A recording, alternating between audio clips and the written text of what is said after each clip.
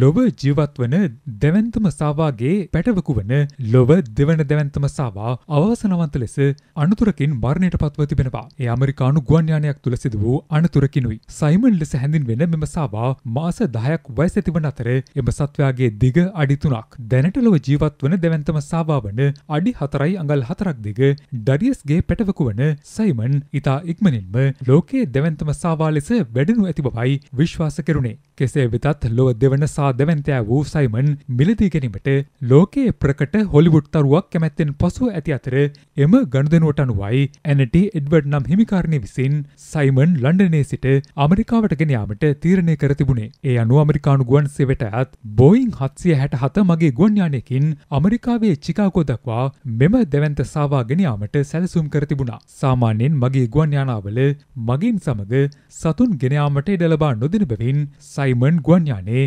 බාණ්ඩ ප්‍රවාහන කොටසේ රඳවා තැබූ අතර එහිදී සිදුව තිබුණේ අනපේක්ෂිත දෙයක්. අමරිකාවට ගුවන් යානය ළඟාවීමෙන් පසුව සයිමන් පිළිබඳ සොයා බැලීමේදී හෙළිව තිබුණේ එම සාදැවන්තයා ගුවන් යානය තුළදීම මරණයට පත්ව ඇති බවයි. ඒ ගුවන් යානයේ බාණ්ඩ ප්‍රවාහන කොටසේ කිසිදු ආරක්ෂිත බවකින් තොරව බාණ්ඩ සමග මෙම සත්වයා රඳවා තිබීම හේතු වෙනුයි. සමාජ ජාල මාධ්‍ය තුළ පවා අතිශය ජනප්‍රියව සිටි මෙම සාදැවන්තයාගේ මරණයේ වගකීම අමරිකානු ගුවන් සේවය මත පැටවී ඇති අතර ඊට මෙවන විට දැඩිව චෝදනා එල්ලවෙමින් පවතිනවා. ඒ සම්බන්ධයෙන් නිවේදනයක් නිකුත් කරන අමරිකානු ගුවන් සේවය පවසන්නේ ලොව දෙවන්තම සාවා බවට පත්වනු ඇතැයි අපේක්ෂා කළ සයිමන්ගේ මරණය පිළිබඳව දැඩිව කනගාටුවට පත්වන බවයි. තම ආයතනය ගුවන්යානා තුළ සතුන් ප්‍රවාහනයේදී දැඩිව සැලකිලිමත් වන නමුත් මේ මොහොතේදී යම් අතපසුවීමක් සිදු ඇති බවයි ඔවුන් කරුණු දක්වන්නේ. ඒ අනුව සයිමන්ගේ හිමිකරුවන්ට සාධාරණයක් ඉටු කරන බව ඔවුන් ප්‍රකාශ කර තිබුණද මෙම සාවාගේ අයමවීම ලෝකයටම පොදු